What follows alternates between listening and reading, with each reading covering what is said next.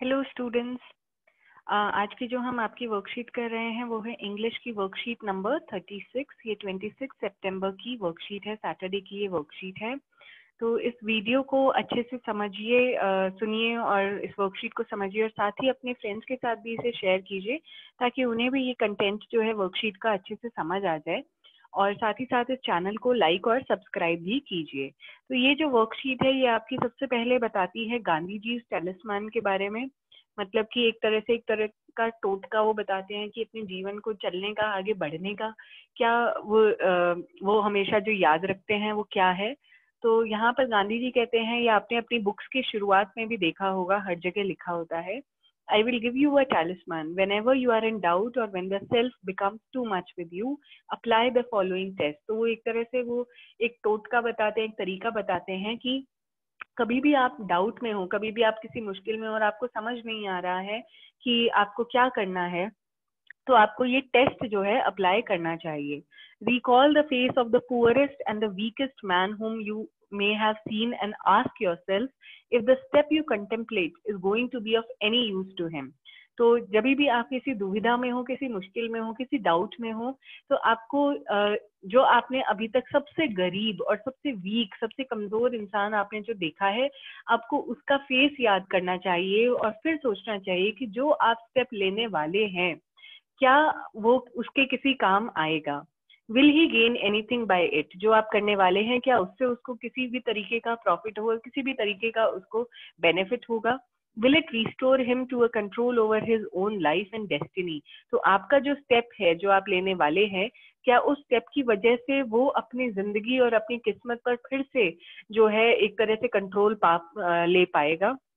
In other words will it lead to swaraj for the hungry and spiritually starving millions तो आप जो भी step लेने वाले हैं, क्या वो ऐसा स्टेप है जो हमारे देश के, जो हमारे देश के जो इतने लाखों जो भूखे लोग हैं, जो लाखों जो गरीब लोग हैं, क्या ये स्टेप उनकी मदद कर कर पाएगा? Then you will find your doubts and yourself melting away जब आप ये टेस्ट अपने ऊपर अप्लाई करेंगे तो आप ये पाएँगे कि आपका जो भी डाउट है जो भी आपने सोचा है कि भाई मैं ये करूँ या ना करूँ, आप धीरे धीरे जो है ये जो डाउट है वो एक एक तरह से खो जाएगा। क्योंकि उनकी जो दिक्कतें हैं, वो आपकी दिक्कतें के सामने बहुत बड़ी नज़र आएँगी और आप जो है आगे जो स्टेप लेना चाह रहे हैं, वो लेना आपके लिए आसान हो जाएगा। तो इसी पर बेस्ड आपकी वर्कशीट है, वो पढ़ देती हूँ मैं जल्दी से क्या है। You must have come across this talisman in your textbooks आपने ज़रूर अपनी टेक्स्ट बुक्स में इसको देखा होगा। You have read about leadership in last writing worksheet आपने, आपकी जो पिछले हफ़्ते की वर्कशीट थी, वो लीडरशिप के ऊपर थी। You are also reading about Nelson Mandela as a leader in a chapter from your English textbook आपने अभी ही जो रिसेंट लास्ट वर्कशीट की थी, वो नेल्सन मंडेला के ऊपर की थी, जो हमारी दुनिया में सब बहुत बड़े एक लीडर के रूप में भी जाने जाते हैं। You witness poor weak and hungry people near your locality आप अपने आसपास रोज ही देखते होंगे कितने ही गरीब हैं, कितने ही कमज़ोर लोग हैं, कितने ही भूखे लोग आपके आसपास रहते हैं। Write in a short paragraph what you would like to do for such people of your country if you become a leader. तो आपको एक पैराग्राफ में ये लिखना है कि अगर आपको लीडर बनने का मौका मिलता है अपनी कंट्री में तो अपनी कंट्री के ऐसे लोगों के लिए आप क्या करना चाहेंगे? आप क्या कर सकते हैं? तो आपको थोड़े कुछ इंडिकेशंस भी यहाँ दिए हुए हैं कि आप इन सब के बारे में बात कर सकते हैं व्हाट यू वुड डू आप क्या करेंगे? Who would help you in your work आपके इस काम में कौन आपकी मदद करेगा? When would you do your work आप ये काम कब करेंगे? वेयर वुड यू वर्क आप ये काम कहाँ पर करेंगे? तो यहाँ पर आपको कुछ महात्मा गांधी के कोट्स भी दिए गए हैं। और इसी पर बेस जो है आपको ये वर्कशीट जो है, ये राइटिंग टास्क जो है आपको अटेम्प्ट करना है। मैं यहाँ आपको सैंपल आंसर दिखा देती हूँ कि हमने जो पैराग्राफ लिखा है, आप इस तरह से पैराग्राफ लिख सकते हैं। तो इस पैराग्राफ में हमने यही लिखा है कि अगर मैं लीडर बनता हूँ तो मैं सबसे पहले अपने विजन पर काम करूँगा। आपको याद होगा, पिछली लीडरशिप की वर्कशीट में हमने बात की थी कि एक लीडर की क्या क्या क्वालिटीज होती हैं। तो उसमें सबसे पहली क्वालिटी एक ये ज़रूर होती है कि एक लीडर के पास एक विजन होता है। तो आप भी अपने विजन पर काम करेंगे to help the poor of the country country के जो गरीब लोग हैं, उनकी आप मदद करेंगे। और वो कैसे आप मदद कर सकते हैं? क्योंकि आप ये बिलीव करते हैं कि एजुकेशन जो पढ़ाई है, वो एक टूल है, वो एक व्हीकल है, जिससे कि लोगों की जो सिचुएशन है, उसमें बदलाव लाया जा सकता है।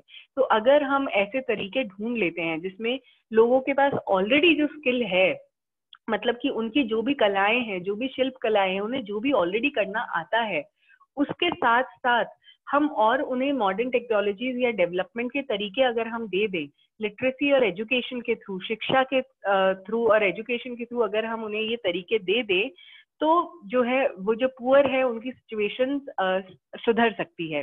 तो ऐसा नहीं है कि आज मैंने चार लोगों को खाना खाना खिला दिया, कल चार लोगों को खाना खिला दिया और हमेशा के लिए उनकी सिचुएशन सुधर गई। सच्चा लीडर अच्छा लीडर वही है जो अभी शॉर्ट टर्म पे नहीं, बल्कि आगे तक की सोचे। तो अगर आप लॉन्ग टर्म की सोचें तो आपको ऐसे तरीके अपनाने चाहिए जिससे आज या कल इनकी गरीबी खत्म ना हो, बल्कि हमेशा हमेशा के लिए इन लोगों की गरीबी खत्म हो जाए। तो अगर हम एजुकेशन पे काम करते हैं और इनके स्किल डेवलपमेंट पे काम करते हैं तो सिर्फ़ इनकी ही गरीबी नहीं, बल्कि आने वाली जो फ्यूचर जनरेशन हैं, उनके जो आने वाली जो पुश्ते हैं, वो भी जो है, गरीबी जो है, उनके लिए खत्म हो जाएगी। तो इसके लिए अब आप क्या करेंगे? अब आपको, आप तो अभी स्कूल में हैं, लेकिन आपको ये करना है कि आने वाले टाइम में आप सिर्फ़ कोई ऐसी डिग्री नहीं करेंगे जिससे सिर्फ़ आप ही को फ़ायदा हो, बल्कि आपको ऐसी डिग्रीज करनी चाहिए जिससे इन लोगों को भी मदद मिल सके। और आज के टाइम में ऐसी कई सारी डिग्रीज हैं, जैसे कि एजुकेशन में अगर आप टीचर बनते हैं, आप ऐसी कोई डिग्री लेते हैं जैसे बीएससी, बीएड की डिग्री लेते हैं या बी बीए, बीएड की डिग्री लेते हैं तो आप टीचर बन सकते हैं और आप इन बच्चों को और सभी को पढ़ा सकते हैं। आप अडल्ट को भी पढ़ा सकते हैं। बहुत सारे अडल्ट लिटरेसी प्रोग्राम होते हैं, आप उनको भी पढ़ा सकते हैं। साथ ही साथ आप सोशल सेक्टर में सोशल वर्क में या डेवलपमेंट में आप डिग्रीज ले सकते हैं और इन डिग्रीज से आपको कुछ कॉन्क्रीट वेज मिल जाएँगी जिससे कि आप लोगों की मदद कर सकते हैं। साथ ही साथ आपकी कनेक्शन डेवलप हो जाते हैं ऐसे ऑर्गेनाइजेशन के साथ जो आपको ये काम करने में जो है मदद करेंगे। और फिर आप जो है ऐसे एरियाज़ में जाकर फ़ील्ड वर्क कर सकते हैं लोगों के साथ काम कर सकते हैं, जहाँ पर उनकी बहुत ही बुरी हालत है, बहुत ही ज़्यादा गरीब है। तो इस तरह से आप जो है आज से ही ऐसे करियर ऑप्शंस के बारे में ढूंढना आप शुरू कर सकते हैं। और अगर आपको इस बारे में कोई भी और जानकारी चाहिए तो बिल्कुल आप हमसे कमेंट सेक्शन में पूछ सकते हैं। हम सभी यहाँ एजुकेशन में काम करते हैं तो हमें अच्छी जानकारी रहती है कि आगे आपके लिए कौन से ऑप्शन सही रहेंगे। अगर आप सोशल सेक्टर में जाना चाहते हैं, आप गरीबों की और आगे ये जो कमज़ोर लोग आपको लगते हैं, उनकी अगर आप मदद करना चाहें तो आप कौन से ऑप्शन चूज़ कर सकते हैं? उम्मीद करते हैं कि ये जो पैराग्राफ है, उसको ना सिर्फ़ आपको ये वर्कशीट करने में मदद मिली होगी, बल्कि आपको अपने आगे करियर को समझने में भी मदद मिली होगी। आप इस वीडियो को ज़रूर अपने फ्रेंड्स के साथ शेयर कीजिए और जो भी आपको डाउट है तो आप डेफिनेटली जो है हमसे पूछ सकते हैं कमेंट सेक्शन में। Thank you